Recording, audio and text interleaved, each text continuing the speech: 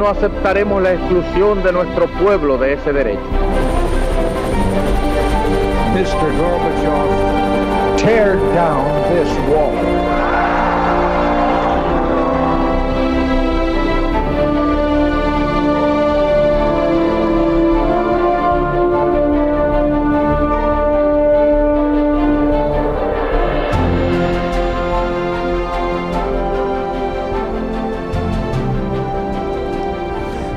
Noches, señoras y señores. Bienvenidos a Tiempos Modernos. Detrás de las grandes personalidades de la historia, con frecuencia hay hombres más oscuros que ejercen una poderosa influencia sobre ellos. En ocasiones su influjo puede resultar determinante. Ese fue el caso de José López Rega, el brujo de Juan Domingo Perón. José López Rega fue la mano derecha de Perón y de María Estela Rodríguez de Perón durante las últimas etapas del gobierno del general y de su esposa. Hijo de españoles que habían emigrado a Argentina, desde muy joven manifestó un agudo interés por cuestiones religiosas y esotéricas, así como una inclinación profesional por convertirse en policía. Tenía los 50 años cumplidos en 1965 cuando conoció a María Estela Rodríguez de Perón, gracias precisamente a su común afición al espiritismo.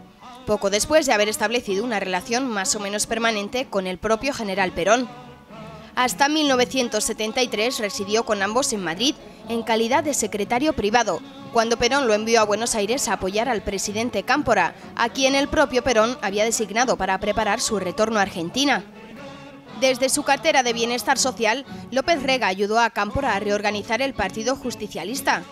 El objetivo era frenar la influencia de grupos de extrema izquierda que se habían infiltrado en el peronismo, operación que contaba con el acuerdo del general Perón pese a que este, desde su exilio español, había alentado a las facciones montoneras manteniendo, cuando menos, una postura ambigua al respecto de dichos grupos. El 20 de junio de 1973 se produjo la masacre de Ceiza, en las cercanías del aeropuerto bonaerense. En esa fecha regresaba Perón a Argentina tras 18 años de exilio, y las dos alas del peronismo pugnaban por acaparar el protagonismo de la jornada. De un lado, los sindicatos peronistas, englobados en la CGT, que representaban la derecha del movimiento justicialista. Del otro, los montoneros, deriva izquierdista del peronismo. Muy cerca de Ceiza, ambos grupos chocaron cuando los montoneros trataron de hacerse con las mejores posiciones junto a Perón, aunque el resultado de la masacre no se conoce, puesto que nunca hubo investigación oficial. Ezeiza fue el comienzo del enfrentamiento abierto entre las dos alas del peronismo y López Rega encabezó una de ellas, la derecha. Comenzaron a partir de ese momento las agresiones entre una y otra facción y mientras los montoneros crearon las Fuerzas Armadas Revolucionarias, López Rega hizo lo propio con la Alianza Anticomunista Argentina, más conocida como AAA, a los que se atribuyó casi un millar de que Perón estuvo detrás de la represión de los montoneros y los grupos de izquierda marxista infiltrados en el peronismo, o peronistas socialistas ellos mismos. Cuando murió el general, en julio de 1974, López Rega asumió una posición de poder equivalente a la de primer ministro, al tener bajo su mando las secretarías bajo la presidencia de Isabel Perón. Un año después, sin embargo, López Rega hubo de huir a Argentina ante las violentas reacciones populares contra sus medidas económicas.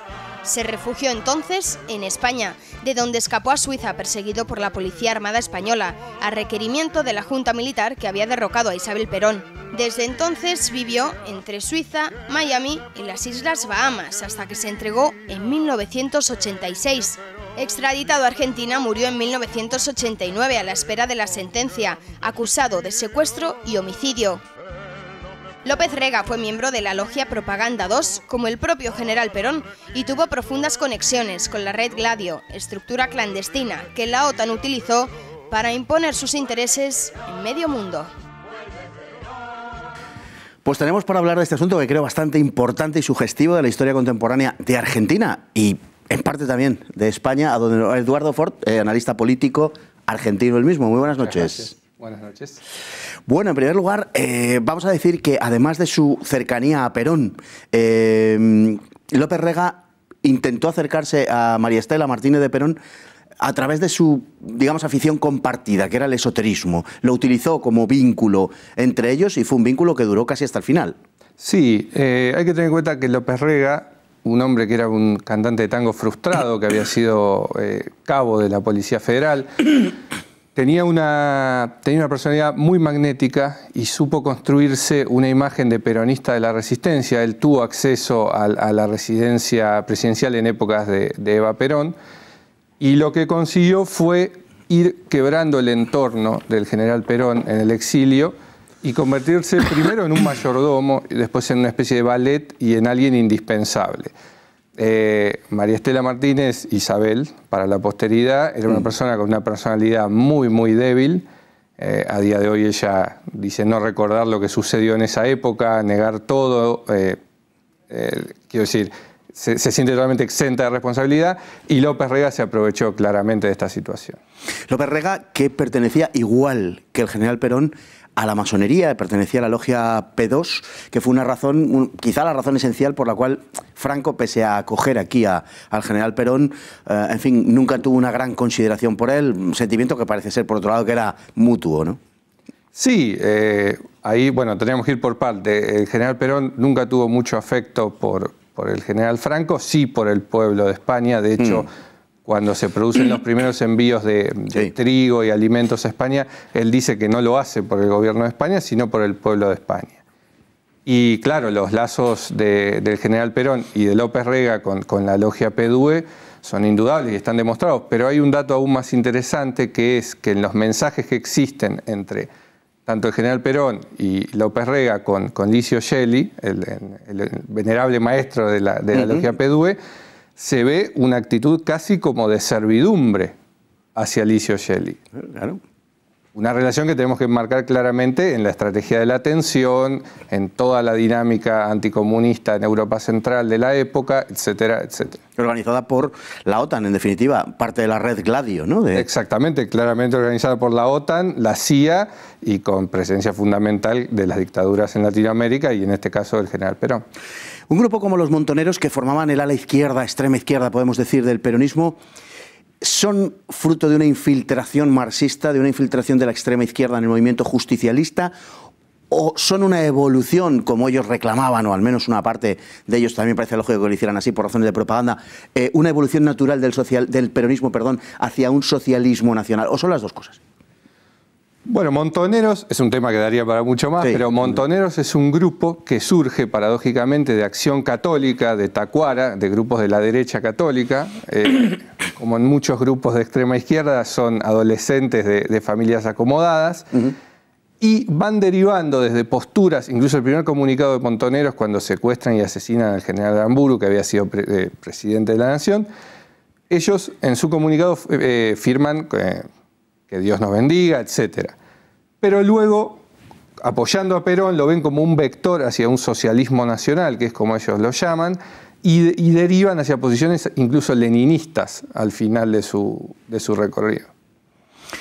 Bueno, el, 20 de junio de 1973, o sea, va a hacer ahora justamente 45 años, eh, se produce la masacre de Ceiza, que es un momento clave en la propia evolución de la, de la, Argentina y, por supuesto, del movimiento justicialista, del peronismo. El modus operandi de lo que sucedió en Ezeiza por cierto, que todavía no se conoce muy bien el número de muertos porque no hubo investigación oficial, nunca se publicaron los datos. Eh, recuerda algo que sucedió en España tres años después, que, fue, que fueron los sucesos de Montejurra, también entre dos ramas, una, vamos a decir, derechista del movimiento carlista, pujante todavía por entonces, y una rama eh, ultraizquierdista, marxista del mismo movimiento carlista. Mm, quiero decir que hay unos paralelismos muy sugestivos y nada extraños por cuanto hay algunos personajes comunes.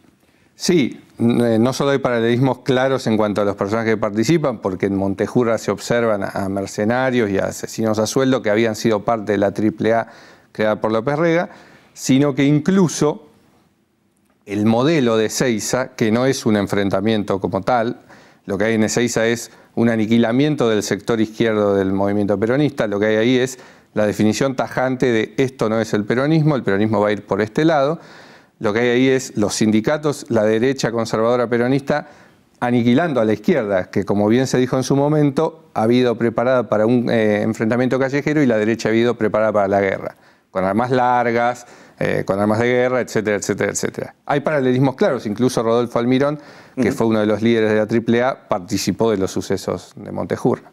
A partir de ahí, ¿cuál es, a su juicio, señor Font, el papel de la AAA a partir de ese momento en la historia argentina?